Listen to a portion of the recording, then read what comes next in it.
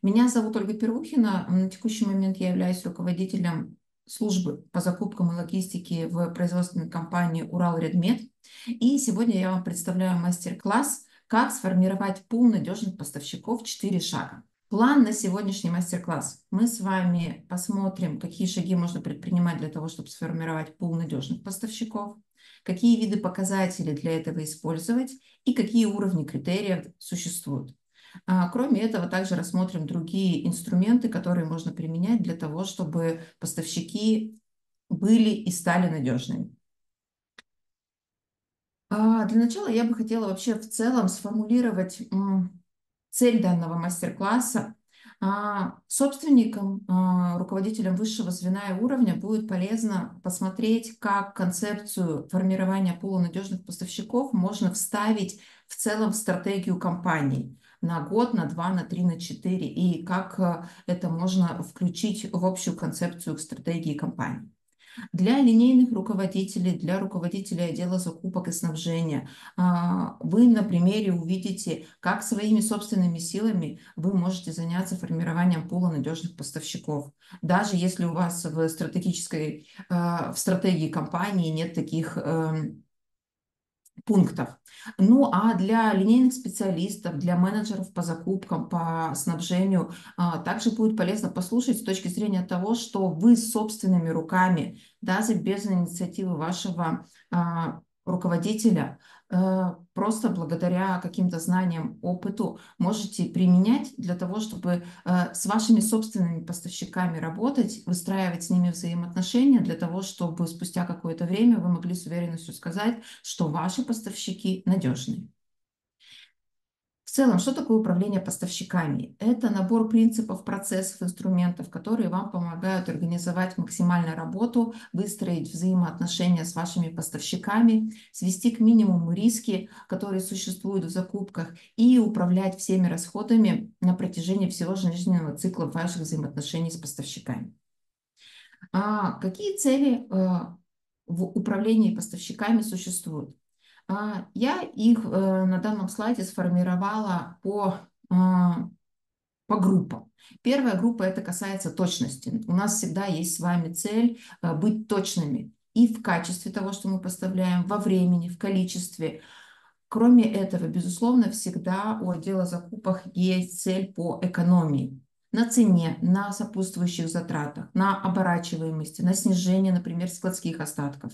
То есть цель, связанная с деньгами, с экономией этих средств. А, также есть некий пул целей, который касается преимуществ, которые мы можем дать своему предприятию в виде скорости поставок, в виде адаптивности к новым технологиям или к новым продуктам, которые производит наше предприятие, к тем новинкам, которые существуют на рынке, и мы можем предложить нашим нашему внутреннему потребителю, нашему заказчику. И пул целей, которые касаются устойчивости цепи поставок. Здесь мы, а, безусловно, про риски, про альтернативные маршруты, про альтернативные вообще способы и виды э, снабжения предприятия, закупок на предприятии. Это, конечно, не весь исчерпывающий список целей, которые есть у закупок и есть э, в управлении поставщиками, но достаточно большой. Какая система управления поставщиками существует э, э, на, в теории и в практике?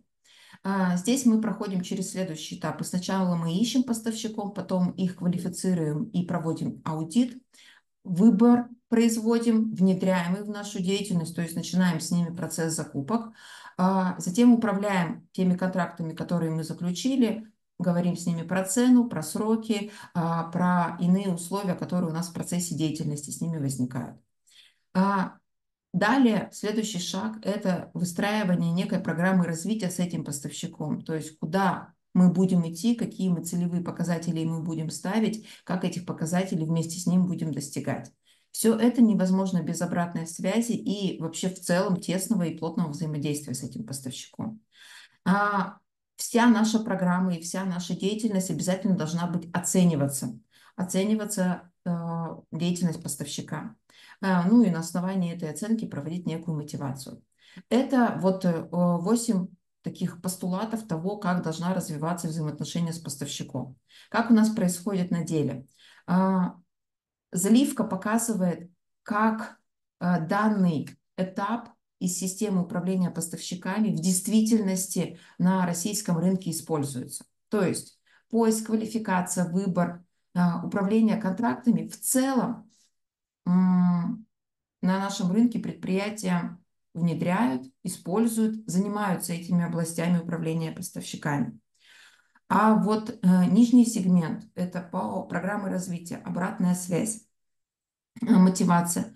А, только исключительные поставщики, которые находятся на высоком уровне развития, э, прошу прощения, а, исключительные закупщики, да, исключительные компании, которые находятся на высоком уровне развития как самой компании, так и отделы или службы закупок в этих компаниях занимаются этими моментами, то есть развивают своих поставщиков, а, заботятся об этой программе, дают им обратную связь. Но, к сожалению, это эм, самые большие крупные компании, производители на российском рынке.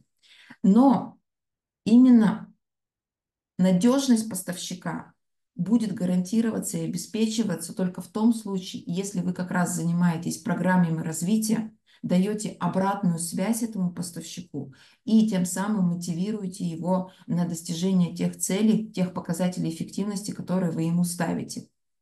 Поэтому э, я бы хотела сделать акцент на том, что э, поиск, квалификация, выбор – это все прекрасно, но управление деятельностью программы развития деятельности, именно они обеспечивают и повышают надежных наших поставщиков.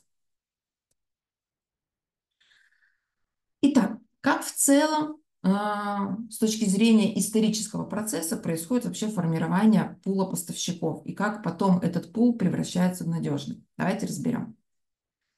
Вот у нас с вами есть некий лонг-лист, то есть э, а, ставится перед нами задача найти некое ТМЦ работы или услуг. Да? Мы выходим на рынок, начинаем искать всех возможных производителей, поставщиков, дилеров, дистрибьюторов. У нас образуется с вами некий большой пул всех возможных поставщиков, лонг-лист. А затем а, практически всегда, практически уже на всех предприятиях есть некий критерий квалификации. Да? А, и пропуская всех этих поставщиков через критерии квалификации, у нас с вами э, отсекаются те, которые не прошли эти критерии, и остается более укороченный уже список, так называемый рынок компаний, то есть тех, э, тот рынок, с которым мы уже дальше можем работать. Затем мы уже на основании критериев выбора что это и как это. Это тоже у каждой компании свои некие критерии выбора. А, мы о них тоже поговорим чуть позже. Снова происходит некое отсечение компаний, которые не прошли эти критерии выбора. И здесь у нас образуются уже поставщики, у которых мы реально можем закупать, да, которые прошли по цене, по качеству и так далее. Мы закупаем этих поставщиков, и чаще всего на этом этапе, к сожалению, большинство компаний останавливаются. У меня есть полпоставщиков, я у них покупаю то одного, то второго, то третьего. То вот мне один нравится, я беру только у него. И меня вполне все это устраивает. Но на самом деле история намного глубже. История заключается в том, что есть еще критерии оценки деятельности. То есть мы взяли у него некий объем один-два раза, оценили, как он работает, как дает а, оперативно связь с ним ведется, а, как у него с качеством, а, готов ли он снижаться по цене, готов ли пересматривать иные условия. И вот здесь как раз мы уже занимаемся оценкой. И это позволяет нам сформировать надежных поставщиков. Исходя из этих этапов, я бы хотела дальше и выстроить нашу работу, а какие именно критерии мы можем предъявлять в момент квалификации, в момент выбора, в момент оценки деятельности для того, чтобы как раз выйти в эту а, благоприятную зону, а, где мы можем говорить, что все наши поставщики теперь надежны. А, поэтому на первом этапе, когда мы говорим про аккредитацию, да, то есть это первый первичный выбор тех поставщиков из лонг-листа, которые мы сформировали в самом начале. И что же мы здесь с вами на этом этапе будем оценивать? Мы здесь будем оценивать самые первые э, э, признаки и критерии. Это благонадежность и безопасность. С помощью чего мы будем оценивать? С помощью регистрации, налогов, лицензий, сертификатов, балансов, отчетности. Чаще всего мы всегда с вами это делаем. да, запросить бухбаланс, посмотреть, э, что у них там на СБИСе происходит, да, попросить наших безопасников или юристов проверить их по иным базам, посмотреть, есть ли у них какие-то судебные разбирательства и так далее. То есть на этапе аккредитации с помощью этих критериев чаще всего мы так и действуем, так это и работает. Затем у нас идет этап квалификации. То есть у нас на этапе аккредитации тоже произошел какой-то сорсинг, какой-то поиск и некий фильтр. Затем мы идем к этапу квалификации. Что такое этап квалификации? Здесь мы с вами оцениваем способность выполнить поставку. То есть в целом поставщик э, благонадежен с точки зрения его документации, а с точки зрения его реальной деятельности, он вообще сможет нам эти объемы привести? Вот это мы как раз с вами оцениваем на этапе квалификации. И э, здесь мы используем критерии в виде того качества, которое он предъявляет согласно там, сертификатам или ТУ, который он дает, какая у него производственная компетентность, технологическая э, компетентность, квалификация персонала, а есть ли э, история про управление качеством, вообще есть ли служба ОТК, как минимум, да? Э, некую корпоративную ответственность их оцениваем с точки зрения инноваций. Но это тоже такой уже глубинный уровень, до которого не все компании доходят, но на уровень квалификации также было бы неплохо оценивать и как с точки зрения инноваций предприятия себя чувствуют и вообще э, используют ли какие-то новинки на рынке в своем собственном производстве. А после квалификации э, при запросе вот этих документов, а, э, либо, возможно, какого-то выездного аудита, да, также происходит некий дальнейший выбор поставщиков, сужение круга этих поставщиков.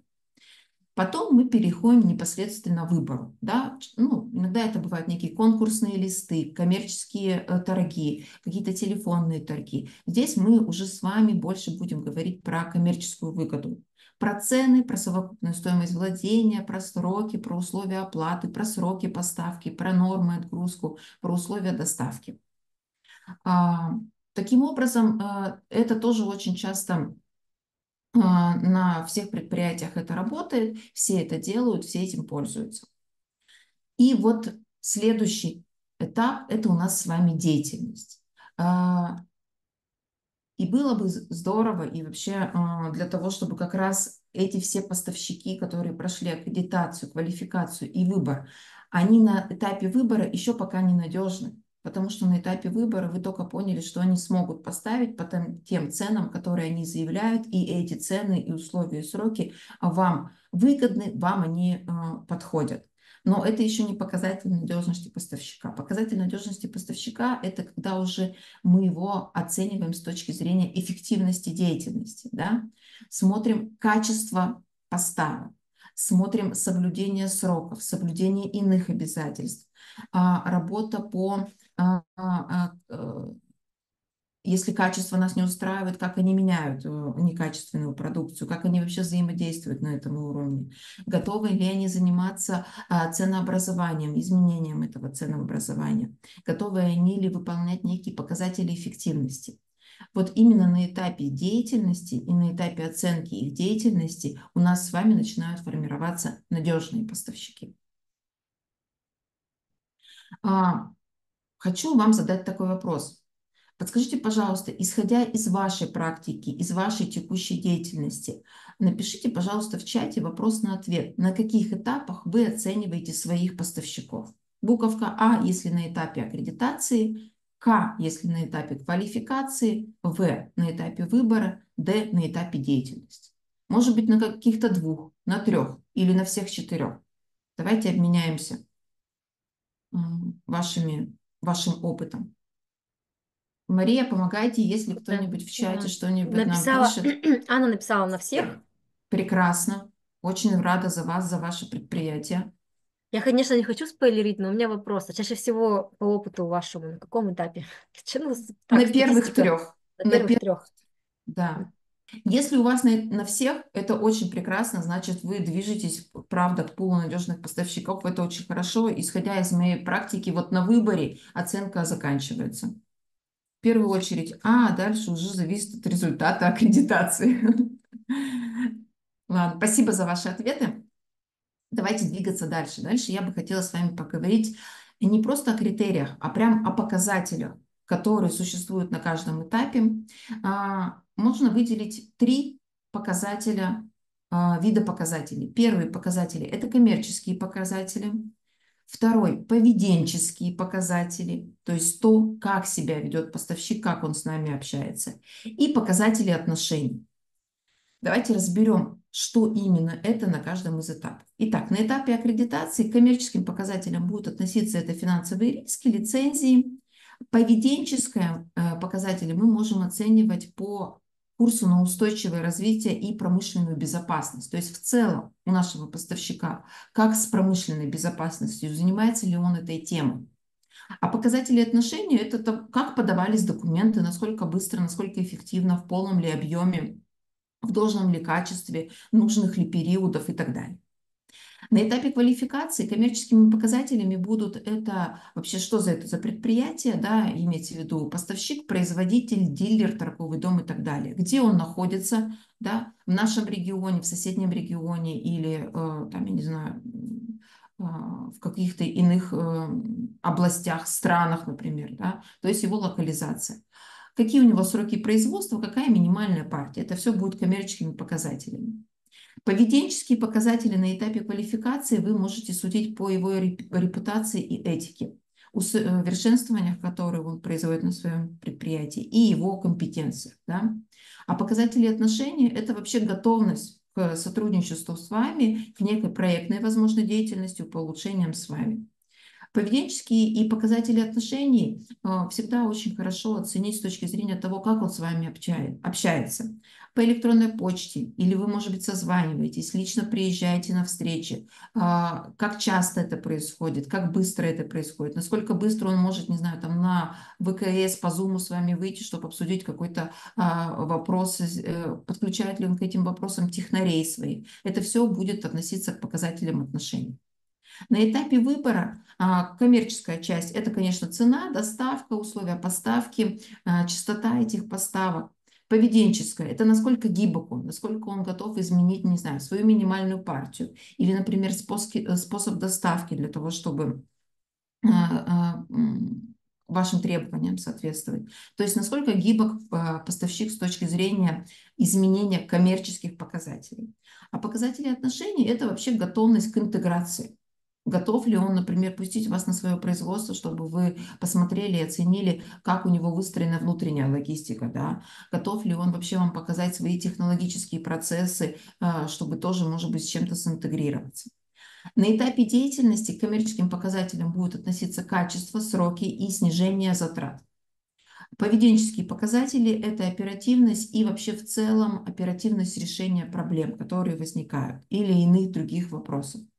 Показателем отношений будет относиться плотность взаимодействия и наличие неких проектов. А, да, вот э, э, тонкая грань между показателями поведенческими и показателями отношений. Существует некая тонкая грань. А, но при этом все равно есть определенные разграничения. Да? Поведенческие показатели – это всегда, они больше относятся к тому, насколько он адаптивен к тем требованиям, которые вы ему предъявляете. А показатели отношений, а, насколько он а, готов к интеграции, к сотрудничеству, к плотным контактам с вами. Э, и я в очередной раз вас хочу спросить, а как на вашем предприятии, исходя из вашей практики, Разделяете ли вы вообще показатели на коммерческие, поведенческие показатели отношений и оцениваете ли вы эти показатели а, на всем жизненном а, цикле отношений с поставщиком? Вообще, была ли у вас практика, что вы оцениваете не только а, деньги, была ли у вас практика оценки еще поведения и отношения вашего поставщика? С точки зрения его благонадежности по проектной деятельности, с точки зрения его инноваций, гибкости. Коммерческий, все, что касается цифр, сроков, денег. Поведенческий, все, что касается усовершенствования, гибкости, решения проблем. А показатели отношения с точки зрения того, как он с вами общается, как быстро реагирует, как э, и в каком объеме предоставляет информацию, насколько готов э, интегрироваться, кооперироваться. В основном коммерческий, да. Ну да, и моя практика на самом деле тоже показывает, что чаще всего, чаще всего мы смотрим только на коммерческие показатели. Только на коммерческие показатели. Хотя поведение поставщика тоже на самом деле влияет и на наши личные их взаимоотношения, да. Время поставщики. Ну, кстати, По моему опыту, поведение тоже играет немаловажную роль, Валерия да, пишет. И правильно. Анна говорит, что время поставщика, увы. Мгм. Ну, безусловно, это все, конечно, про время и про наши взаимоотношения, но это все тоже важные показатели. А, Подумайте об этом, подумайте, как вы можете сейчас уже начать оценивать ваших поставщиков не только, не только с точки зрения коммерческой, но и поведенческой и показателей отношений. Да? Может быть, не в виде оцифровки этих показателей, но хотя бы в виде вашего э, личного субъективного профессионального опыта. И какие существуют вообще уровни критериев этих оценки? Первый уровень критерий – это самые базовые э, э, показатели. Стоимость, качество, логистика, технология, спецификация. Следующий уровень, ну, первый уровень критерий, я уверена, что каждый из вас, безусловно, оценивает. Второй уровень критерий, критерий уже более глубокого порядка, а, а, к, про стоимость. Здесь мы с вами будем уже просить их показать а, производственную их деятельность, какие показатели производственной деятельности у них есть, как они проводят общий анализ затрат, а, количество и качество их непосредственных поставщиков. То есть здесь как будто бы мы погружаемся на уровень а какие поставщики наших поставщиков, да, то есть мы уже здесь будем говорить больше про цепочки поставок, то есть не просто наш первый поставщик, а поставщик нашего поставщика, насколько он тоже надежен, насколько он соответствует э, количественным и качественным критериям и какой сервис вообще представляет поставщик. Да? В системе качества на первом уровне мы оцениваем просто качество, а вот второй уровень, более глубокое погружение, здесь как обеспечивается это качество, за счет чего, за счет каких технологий, требований, внутренних регламентов, которые существуют на предприятии нашего поставщика. Да? А какое качество поставляемых запчастей на, те, на то оборудование, на котором производится продукция для нас, у нашего поставщика. Да? То есть критерии второго уровня – это более уже глубокие критерии, которые даже больше погружаются в производственные особенности наших поставщиков и в их коммерческую часть их взаимодействия с их поставщиками. В логистике мы с вами будем говорить, безусловно, про логистические услуги, про систему, про экологию, про сервис, про сроки поставки. В технологиях это будут уже технические оценки, технологические оценки, возможно, технические аудиты независимыми а, организациями, которые также а, нам позволят более широко взглянуть на нашего поставщика с точки зрения технологий. Ну и специфика, то есть некий специфический критерий предпринимательской деятельности этой компании. Да, здесь мы будем с вами говорить а, про то, как они относятся к экологии, а, занимаются ли они а, а, сервисными услугами, да, насколько они хороши в постобслуживании, например. Да. То есть более глубокое специфическое погружение в их а, постпродажные услуги. И а, также мы с вами должны говорить о том, что могут быть некий третий уровень критерий, дополнительные критерии, которые вы самостоятельно разрабатываете, исходя из специфики ваших закупаемых ТМЦ или исходя из специфики вашего предприятия. Может быть, у вас на предприятии существуют некие специфические критерии, которые вы предъявляете к своим поставщикам. Они как раз будут относиться к третьему а, дополнительному уровню критериев. Здесь э, давайте, э, чтобы, э, так сказать, закрепить наше с вами общение, скажите, пожалуйста, критерии какого уровня вы используете в своей работе? Первого уровня просто говорите про стоимость, качество, логистику, технологию. Критерии второго уровня более глубоко погружаетесь в специфику производства вашего поставщика, в специфику работы вашего поставщика с его поставщиками. Ответьте, пожалуйста, на вопрос, какого уровня критерий чаще всего вы используете в своей деятельности, на своих предприятиях, в своих закупках? Да, здесь уже посложнее, да, как будто бы ответить, потому что тут надо поразбираться вообще, что к чему относится. Но исходя из своей практики, ровно так же могу сказать, что именно критерии первого уровня а, мы чаще всего только с ними работаем. Критерии второго уровня, а, ну, на моем предприятии мы также используем, но с поставщиками, например, сырья да, а, нашего основного, так сказать, объема закупа, это сырье. И вот здесь мы очень часто выезжаем, делаем технические и технологические оценки их предприятий, запрашиваем, а, а, из какого сырья они делают сырье для нас, да, то есть где добывается сырье, которое они перерабатывают для нас. То есть частично критерии второго уровня тоже начинаем использовать. Это очень помогает вообще проникнуться тем, как поставщик работает, э, хорошо он работает, готов ли он вообще делиться этой информацией. Это ровно так же говорит о нем как о надежном, либо о не очень надежном поставщике. Валерия пишет в чат, я работаю непосредственно с иностранными поставщиками напрямую, поэтому думаю, что больше использую критерии первого уровня. Угу, угу.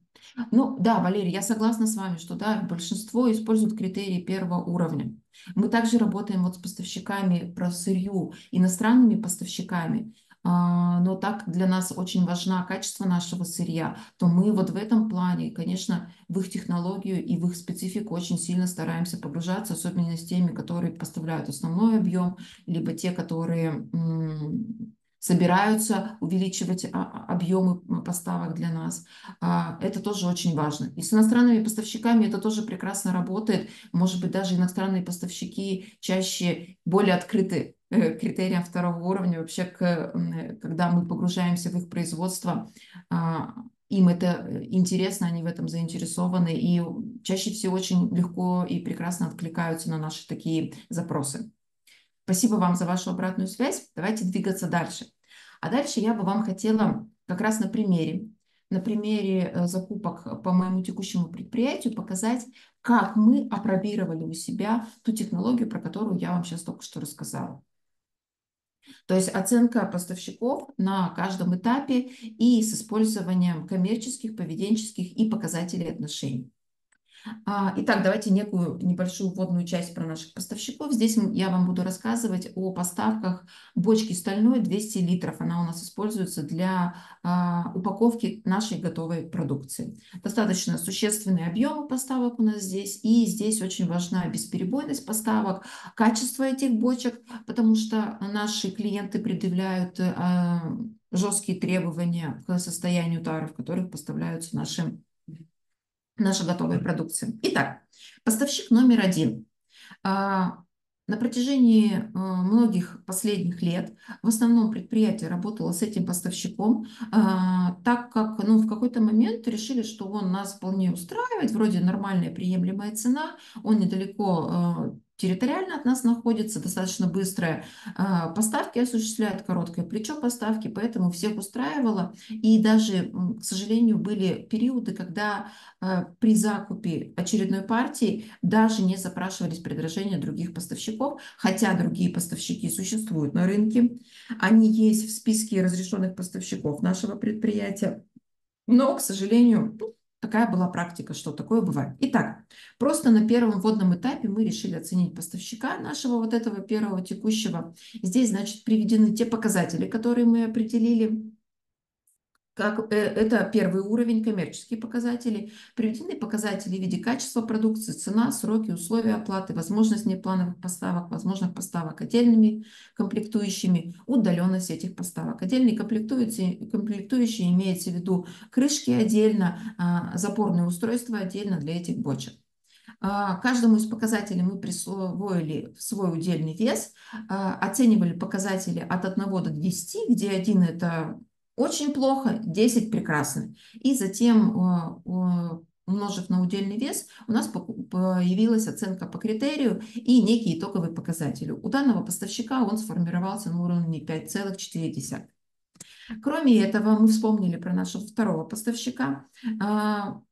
Запросили у него новое коммерческое предложение обновленное, а, уточнили у него про сроки, про цены и так далее. И ровно так же по тем же самым критериям, с тем же удельным весом оценили его показатель. Его показатель э, итогово сформировался на уровне 4,8. И третий поставщик, номер три, с которым мы э, не работали, но он у нас существовал в списке наших разрешенных поставщиков. То есть, согласно технологии, мы могли с ним работать, но э, он ни разу за всю там, пятилетнюю историю, как у нас сформировался список поставщиков по этой таре, мы с ним ни разу не работали. Мы решили э, запросить у него коммерческое предложение, с ним пообщались, он нам дал коммерческое предложение, и исходя из вот этой первичной работы с ним, мы его оценили, и итоговый показатель коммерческого уровня у него был на уровне 5,65. Исходя из этих критериев, мы даже очень удивились, что поставщик номер три имеет более высокий рейтинг, чем поставщик номер один, с которым мы регулярно работали и которого мы считали очень надежным. А, на основании коммерческого предложения поставщика номер три мы увидели экономию снижения цены на 21%, что уже существенно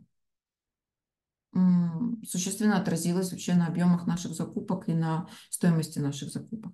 Кроме этого, мы оценили показатели второго уровня, это поведенческие показатели, а от 1 до 10. Каждому из них на основании да, своей субъективной оценки, исходя из опроса а, специалиста по закупкам, который ведет эту категорию, и исходя из оценки начальника отдела закупок, который тоже непосредственно принимал участие в переговорах. Их некую э, субъективную оценку мы усреднили и проставили. И также оценили показатели отношений также от 1 до 10. И того общая оценка у нас получилась, что поставщик 1 – 10, поставщик 2 – 10, а поставщик номер 3, с которым мы до этого ни разу не работали, 13. Мы очень удивились этому, очень порадовались. Безусловно, следующую партию мы закупили у поставщика номер 3, разделив объемы между поставщиком номер один, потому что решили себя немножко подстраховать с точки зрения э, качества продукции. Э, на всякий случай.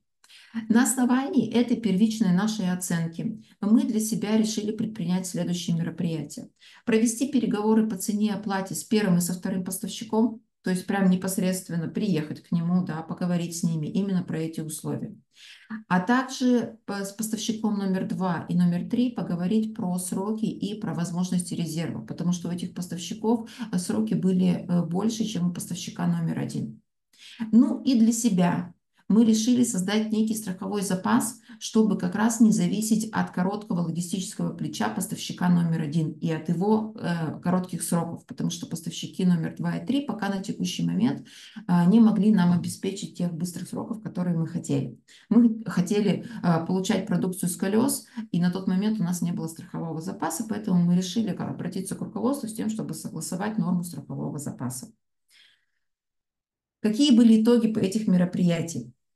Значит, э, по переговорам по цене поставщик номер один категорически отказался изменять цену.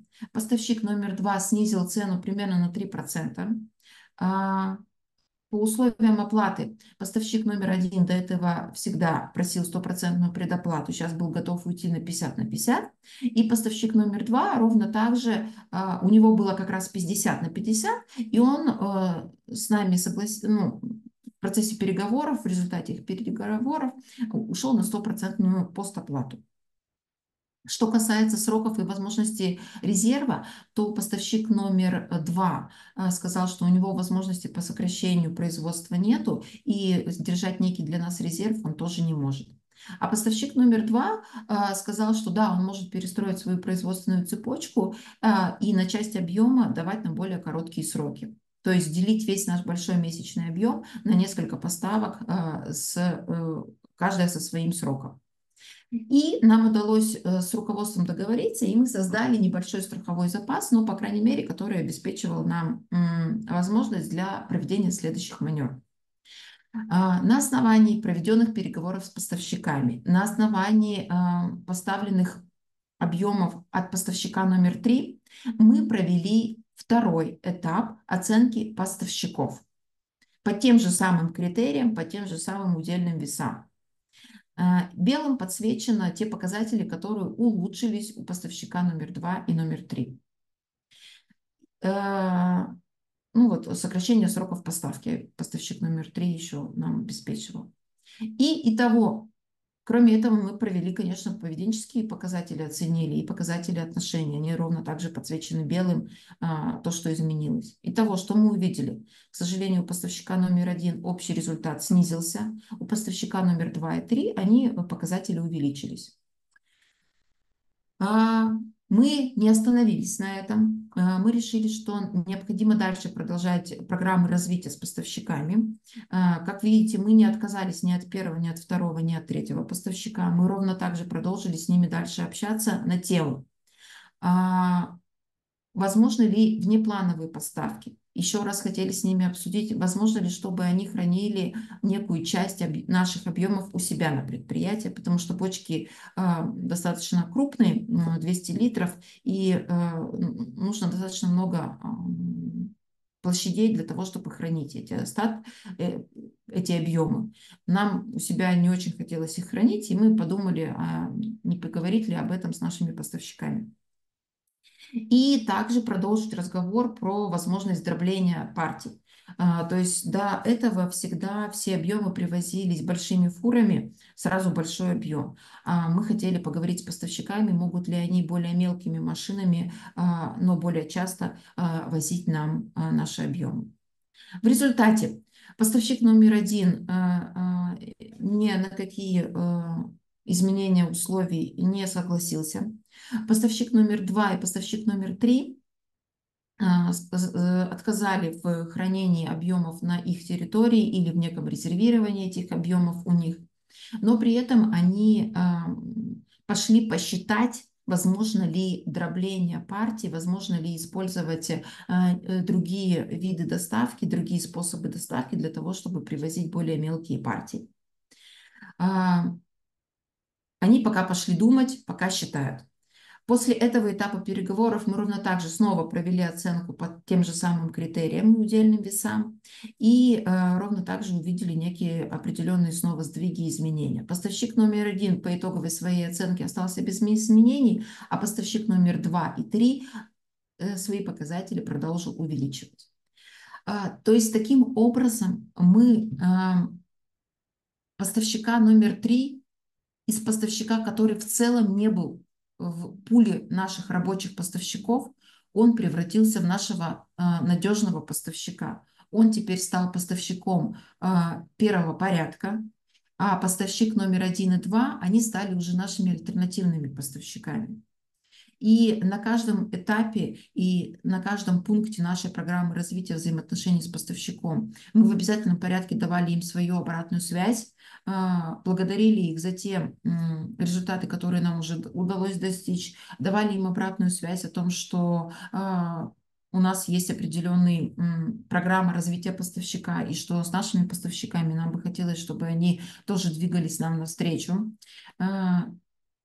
Таким образом, благодаря нашей работе и благодаря тому, что мы сами для себя ставили некие новые цели и задачи, нам удалось достигнуть того, что, во-первых, мы сэкономили в целом на закупе, да, снизили цену.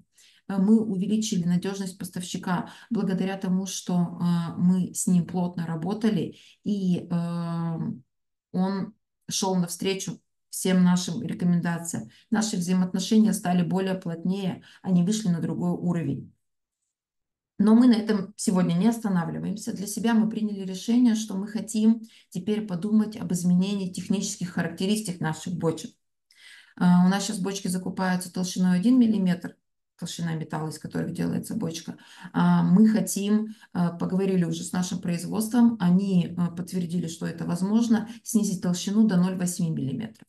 И сейчас мы работаем с поставщиками именно в этом плане, снижаем технические характеристики, технические требования с тем, чтобы снизить цену. На сегодняшний день предполагаемая экономия от этого может быть 5-8% от общей стоимости. Кроме этого, мы поняли, что нам необходима порой поставка отдельных комплектующих, потому что иногда крышки мнутся в процессе того, когда мы упаковываем, либо запорные механизмы ломаются. И раньше э, мы э, просто брали новую бочку и в новую бочку э, снова упаковывали продукцию. Но сейчас мы решили, что это экономически невыгодно, что проще закупить отдельные комплектующие, и если помялась верхняя крышка, то просто взять верхнюю крышку, а не всю целиком взять бочку. Ну и мы для себя решили, что все-таки мы будем продолжать продвигать тему изменений минимальной партии. Продолжать, э, возможно, мы тогда там, логистику возьмем на себя. Вот сейчас у нас такие планы. Ключевая Ольга, мысль... Да. А можно я пока вот просто у меня вопрос по ходу пьесы возник. Я правильно понимаю, что это некий, получается, ведь аудит поставщиков? И с какой периодичностью можно его проводить? Ну, там, рекомендация раз в год, там, не знаю, раз в два года. А, Или вот, это не совсем корректная такая терминология? А, нет универсальных сроков, когда проводить этот аудит. Нет универсальных сроков. Моя такая как бы концепция жизни и концепция работы – это что при каждом контакте с поставщиком, при каждом контакте с поставщиком, ты можешь продолжать улучшать условия, ты можешь продолжать давать ему обратную связь, получать от него обратную связь. И это все будет улучшать ваши взаимоотношения, увеличивать его благонадежность, либо уменьшать. Да? То есть тут э, как показывает даже мой пример, да, то есть ну, поставщик ну, один. Сейчас поясню свою мысль. Вот у вас да. три поставщика, у вас там поставщик С стал, ну, типа, ведущим, который стал, ну, там, по всем своим показателям, ключевым, он да. ключевым, uh-huh. ключевым стал поставщиком для вас. Вот, например, вы живете, живете, и вы, получается, как бы, ну, вот, вы же на этом не остановитесь, вот вы посмотрите толщину металла, отработаете это, и вот у вас уже все характеристики отработаны, например, все еще С поставщик 3 является ведущим, и два альтернативных. И как, как бы вот вы сколько времени с ними проживете, прежде чем вы начнете на них по новой смотреть? Понятно, что говорю? Да. А, вот этот пример, это мы начали с ними заниматься с марта этого года. Вот если во временных рамках... Да, я говорить, поняла, большой срок да, Да, то вот, вот эти три этапа оценки, которые мы прошли, это у нас с, мар, э, с марта этого года. То есть фактически вот 6-7 месяцев планомерно мы вот так вот с ними работали. И вот сейчас достигли неких новых э, показателей. Поэтому я говорю, что здесь, наверное, не может быть, ну, давайте скажем так, минимум один раз в год вы должны проводить оценку всех своих поставщиков. Я поняла, спасибо. Минимум один раз в год давайте их оценивать. Вот. А максимума не существует.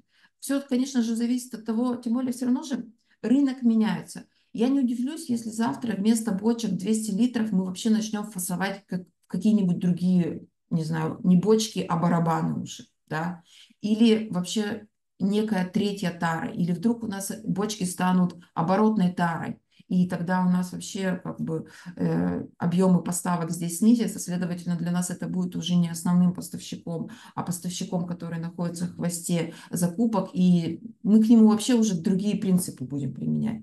Поэтому нет универсального показателя, но давайте скажем так, минимум раз в год оцениваем наших поставщиков. Договорились?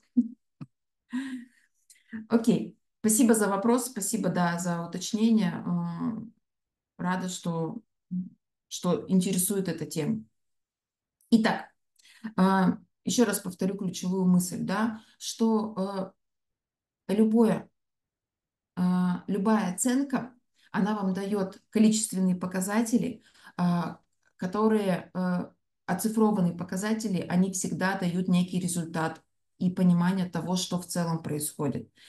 Без оценки показателей, без того, что вы это превратите в цифры,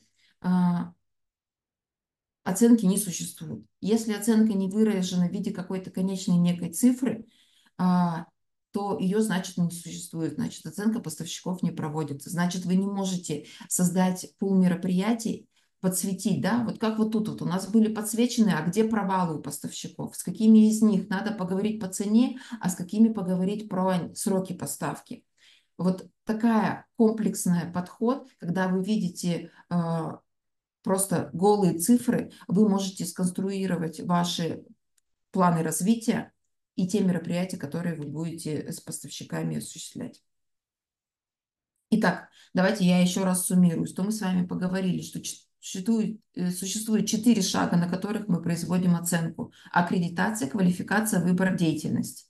Деятельность очень важна, да. Как вы видите, в моем примере мы фактически с вами затронули выбор и деятельность, да. А вот аккредитация и квалификация, она осталась за рамками моего примера, потому что чаще всего это хорошо известные показатели и критерии для а, наших закупщиков.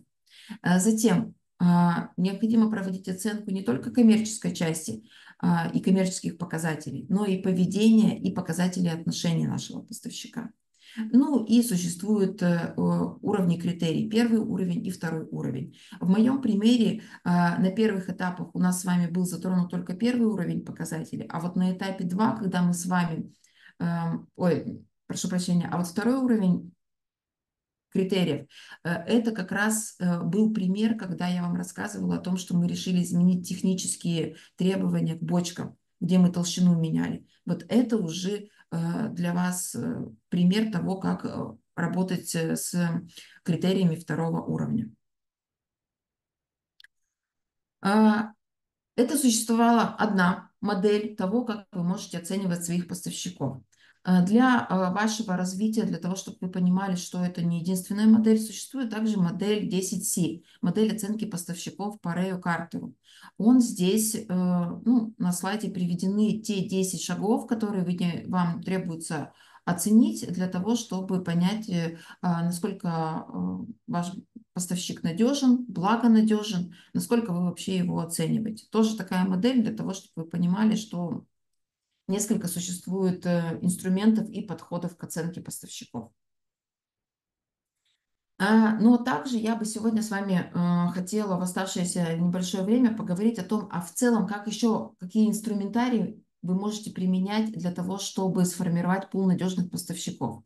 Ну, например, вы не занимаетесь оценкой, да, не оцифровываете своих поставщиков, но тогда, а, безусловно, вам надо поработать с рисками, управлением рисками то как вы их оцениваете, эти риски, какой план а, корректирующих и предотвращающих мер вы составляете, как вы учитываете эти риски в а, договорах и контрактах с вашими поставщиками, ну и в целом, как вы мониторите эти риски.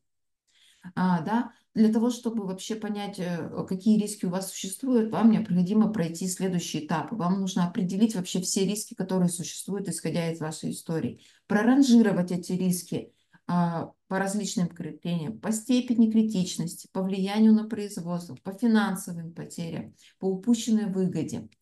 А, оценить управляемость этими рисками, то есть можете ли вы вообще в принципе работать с этими рисками или этот риск не в вашей э, зоне управления. Составить карту рисков. Да? Карта рисков, ну вот обычно классическая карта рисков, да, две оси, влияние, величина потерь, и вторая ось – это вероятность вообще возникновения этих рисков.